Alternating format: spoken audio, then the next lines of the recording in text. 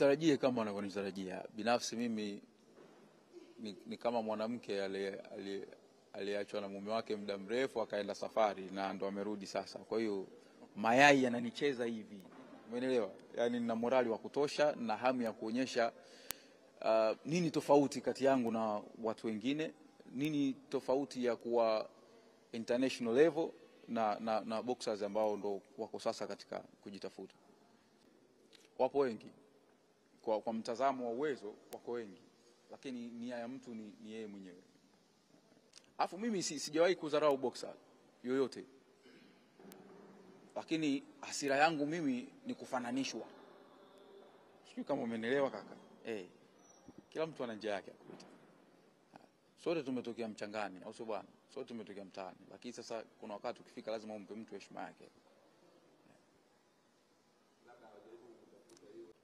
Ah, ushauri naweza kutoa ni kwa sababu tu watu wenyewe tunavyoamini sisi wachezaji mara nyingi ni kwamba mtu akishakuwa anafanya kitu unachokifanya wewe tayari ni adui yako, hata kama amko amko sawa, kitu ambacho sio sawa. Mi napenda kuzungumza na kila boxer na wapo ambao nazungumza nao tayari, kwa sababu mi kusema au kushauri haitanipunguzia chochote, sio yaani. Kwa mfano, nani unataka ujue wewe ni rafiki yangu au sio rafiki yangu? Lakini wengi wapo, wengi sana, wengi sana, hamna boxer ambaye sio rafiki yangu hamna boxer ambaye sio rafiki yangu. Wapo ambao tunaongea kwa ukaribu sana na wapo ambao tuongei kwa ukaribu sana, kwa sababu maisha yana mipaka, na wewe mwenyewe unajua, kuna watu unafanya nao kazi na kuna watu uko nao kazini.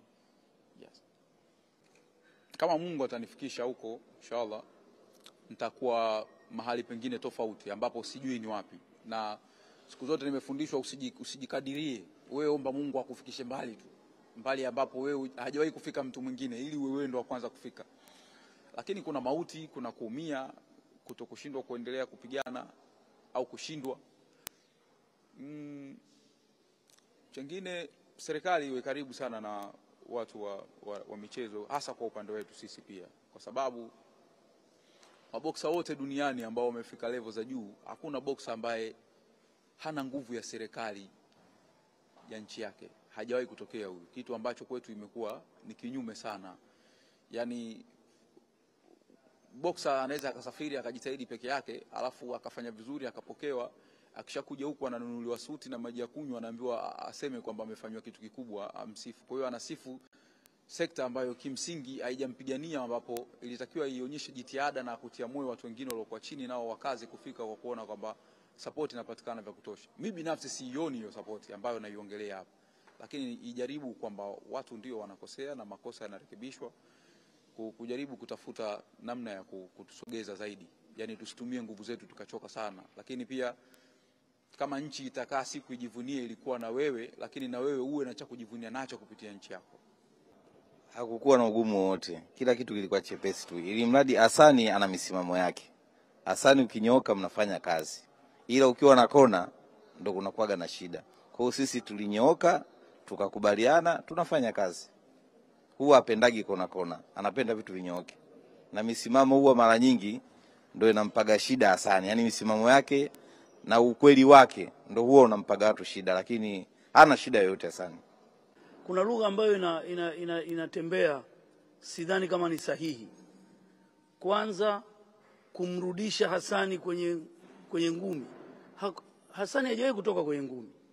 Hasani yuko kwenye ngumi muda wote na amecheza pambano karibuni tu hapo Dodoma. Kwa hiyo ukisema kumrudisha Hasani kwenye ngumi si sahihi, kuna mtu alitumia lugha hiyo, lakini ugumu wa kufanya kazi na Hasani, hakuna ugumu wa kufanya kazi na Hasani kwa sababu mtu yeyote, si bondia tu, mtu yeyote, hata vyombo vya habari, nikitaka kufanya kazi na nyie ni lazima nifate masharti yenu, lakini kama masharti yenu ni magumu kwangu, lazima tukae mezani kwenye drawing board, seme hili naliweza, hili siliwezi, tujadiliane mpaka tukubaliane.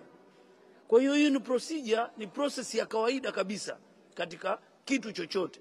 Hakuna ugumu, na hata mtu mwingine yeyote anayetaka kufanya kazi na Hasani ni mtoe hofu, hakuna ugumu, ila katika binadamu duniani, hata mimi, kuna kitu kigumu sana kwetu kuupokea au kuutoa ukweli. Hili jambo ligumu kwa binadamu wengi.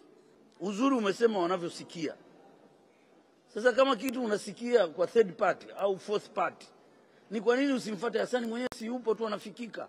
Hasani anakaa Tanga mjini kabisa, wala saa ingine ukifika pale utakuta ameenda huko kwa wadigo wenzake, lakini ukisubiri tu labda kwa siku moja ameenda digo huko, si unajua kuna mambo kutia ubani na nini, kesho yake amerudi, unaonana naye. Hasani si mgumu hivyo kufikika. Kwa hiyo kwa nini usikie maneno? Kwa sababu habari nyingi zinazosemwa za Hasani, mtu anayemsema Hasani, kuna mwingine niwewe kukutana naye anasema habari za Hasani, lakini hata sura hamjui, lakini unasikia mtu anasema ah, yule hey, acha kabisa. Kwa hiyo tusisikie habari ya third party au fourth party. Mtu anataka kufanya kazi na Hasani aende kwa Hasani mwenyewe, ni mtu tukanyooka. Kwa hiyo wengine wanamchukia labda kwa hiyo kunyooka. Sasa wewe kama utaniambia kama ni kunyooka ni kosa, hapo labda mimi nadhani hapo tumeelewana. Labda pa kujazia hapo, wewe umesema labda ni mkorofi. Sisi wenyewe tumeambiwa wewe mkorofi, lakini wewe ni mkorofi eh? Huyo eh, tumeambiwa wewe mkorofi, lakini mbona tunafanya kazi na wewe na uko hapa, hatujaona. Kwa hiyo ni maneno hayo ya kuambiwa, wala usiogope, ni vitu vya kawaida tu katika maisha. Alafu cha, kuongeza cha kuongeza cha kuongeza pikipiki ina ina speed mita zake. Kuna salama kwako na kuna hatari kwako, ni kulingana na utakavyotembea. Ni wewe mwenyewe unatakiwa uchague upande gani unataka kwenda nao. Swala la mtu kujisikia ni yoyote, hata watu ambao wamefanikiwa kwa ofisini, ukienda ni kwa sababu ya elimu yake ndio ilomfanya ajisikie vile. Sasa kwa nini nisijione tamu na mimi akizungumzwa Mwakinyo na niko peke yangu? akizungumziwa mtu mwenye testa ya ngumi Tanzania unamtaja Mwakinyo peke yake. Sasa kwa nini nikitembea nisione raha eh, jamani? Mambo yote si ya Mungu mwenyewe hayo.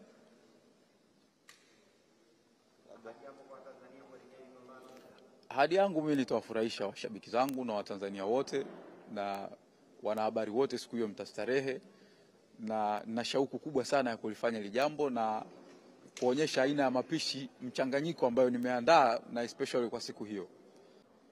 Labda shehe, nikujazie swali moja, na mimi na waandishi nataka niwaulize, hivi Mwenyezi Mungu anataka nini kwetu? Si anataka sifa, ni sifa tu. Kwa hivyo vitu sio vya kuumiza kichwa. Mungu kwako hataki hata shilingi mia, anataka umsifie tu, ewe Mwenyezi Mungu umenijalia, nimeamka. Sifa anazotaka. Kwa hiyo hivyo vitu ni vya kawaida, kusema sijui analinga, si ni vitu vya kawaida tu kwenye maisha, kwa hiyo wala visiwape shida.